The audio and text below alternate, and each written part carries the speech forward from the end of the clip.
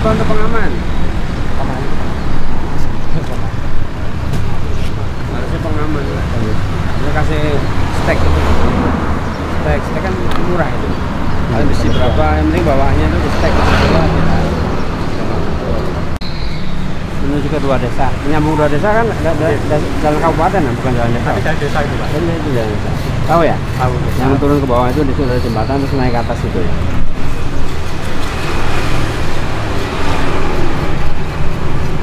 Sana masuk. Masuk. Serang kan panjang Sepanjang sana ya. Siap, Pak. Dia sampai sampai ujung sana, Pak. Iya. Nanti dari sini dikerjakan juga sampai ujung sana. Kalau anu dari desa misalnya dari Jeglong banget ya paling kan mulainya dikerjakan bulan apa? Sekitar Mei. Bulan Mei. Mei. Bulan Meinan. Nah, kalau misalkan anu desa dulu di Krosok lah kalau yang Jeglong banget. Dibantu dulu. Nanti kita dikerjakan di bulan Mei. Iya.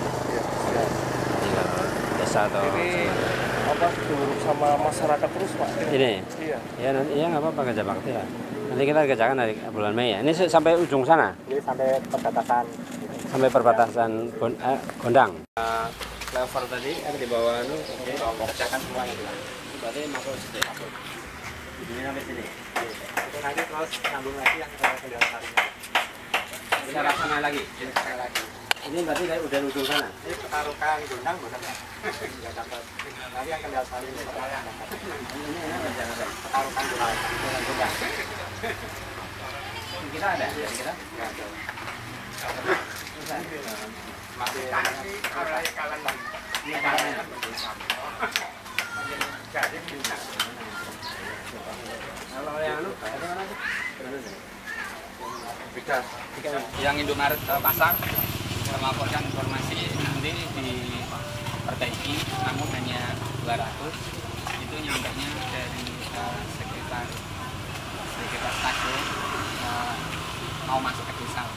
Ya, di tengah desa eh, belum mendapatkan timur itu Eh, dari perempatan ke arah timur. Kalau itu ikut ke Karangasem ya ini yang ikut dari perempatan. Eh, dari desa menuju jalan tol Sirangkang SMA 1 Nah, itu informasi ya. Siap. Jika lurus eh, hanya 200 meter. Iya ya. Ya. Da- Dalam-dalam ya jangan dicor dalam-dalam. Cor dalam-dalam. Warna dalam terus cor gitu. Eh, dikhawatirkan kalau di aspal itu rusak lagi ya pak. Makanya mau di Ini maksudnya leveling dulu. Hah? kenapa? Leveling dulu setelah itu karena apa? Tersernya sama jalan tinggi. Ya nanti kita lihat itu. Lah. oke. Siap kalau apa namanya itu eh, ini nanti itu di harus ditinggikan Iya kan? Setebal ini kan kalau genangan kan 40 cm nih. Kalau mau agak ngirit itu dilapis beton. LPA nya aja yang dibeli LPA nya dibeli 40 cm berarti kira-kira jadi lah karena genangannya 40 cm siap.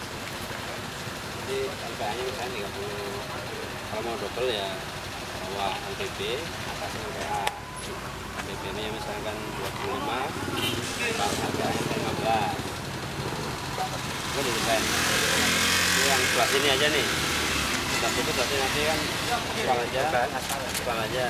Adusnya berapa itu? Masuk ke perubahan aja nanti kita tenderkan atau bagaimana kalau aspal itu otomatis itu atasnya namanya kan ACWC itu bearing cost. Kalau bearing cost itu kan dia airnya itu melimpas gitu. Karena dia kedap air dia kedap air. Tapi kalau ada dua lapis bearing sama wearing bearingnya sebagai agak agak, fondasi gitu. Dia porinya masih masih banyak porinya. Jadi kalau kalau di atasnya bearing post itu air masuk ke dalam juga ke pori-porinya itu. Makanya kalau lapis aus atas itu harus lapis aus. Sehingga apa kita mendesain tetapi tidak mubazir. Untuk kondisi tertentu kayak tadi itu kondisi yang bawah yang banyak genangan. Macam namanya di rest up tinggikan. Hingga caranya ya dengan bukan dengan betonnya meninggikan beton setebal ini enggak. Bawahnya ditinggikan betonnya tetap tetap segitu tapi bawahnya dinaikkan. Kalaupun pakai beton. Sama pakai kotmik juga begitu. Bawahnya pondasinya dinaikkan. Sehingga kita inginnya kalau begini kalau beton agak mahal. Kalau uangnya agak pas-pasan tapi bagus ya begitu caranya. Dinaikkan atasnya tetap aspal yang bagus. Makanya kalau mendesain tuh turun ke bawah mas lihat betul apa kondisinya seperti apa gitu. setelah itu juga biasanya orang begini suka mendesain itu di atas kertas. Mendesain di atas kertas eh, yang normatif gitu ya desain dan nah, begitu lapangan harus di MC0 harus di MC0 kalau kalau kita desain di atas kertas lapangannya MC0 MC0 gimana? Ya disesuaikan dengan kondisi di lapangan tapi kalau kayak gitu nanti uangnya biasanya nggak cukup. Nanti panjang efektifnya jadi berkurang. Nah, itu kan nggak boleh juga gitu. Akhirnya apa ya apa adanya gitu. Makanya yang paling benar kalau mendesain itu turun ke bawah lihat kondisi lapangan desain yang benar itu yang paling benar